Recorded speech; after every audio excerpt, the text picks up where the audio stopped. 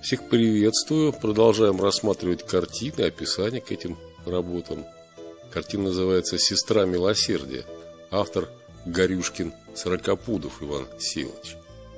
Дата создания 1915 год. Холст масла. Перед нами портрет сестры милосердия, в которой художник воплотил жертвенность, внутреннюю духовную красоту простой женщины, отдавшей себя служению ранен. Говорят, что у войны не женское лицо, но это не так.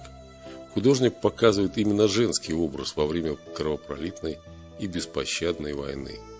Он изображает сестру милосердия в минуту отдыха в цветущем, благоухающем ароматными травами саду. В руках у женщины скромный букет, синие васильки, ромашки и, предположительно, космея, создающие сочетание синего, белого и ярко-оранжевых цветов. Но на фоне этого залитого солнцем сада, зелени травы и благоухающих цветов, усталые глаза, устремленные в этот мир с ожиданием новых испытаний.